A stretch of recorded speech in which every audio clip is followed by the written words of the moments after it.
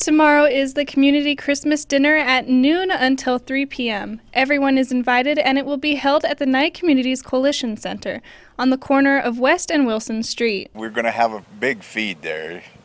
We're going to have uh, ham, turkey, uh, corn, rolls, gravy, pie, you name it, we got it. Yes, we have been doing this now for seven or eight years, and it has just been a lot of fun. We have people that come in and they um, decorate the place. We have music by Dave Yoder, and the people just have a wonderful time. It's for the whole community. People who don't want to cook any longer, and people who just moved here that they have not been able to unpack their boxes. Come on down. There will also be home delivered Christmas meals. Contact Linda DeMeo at 775 209 4683 before noon.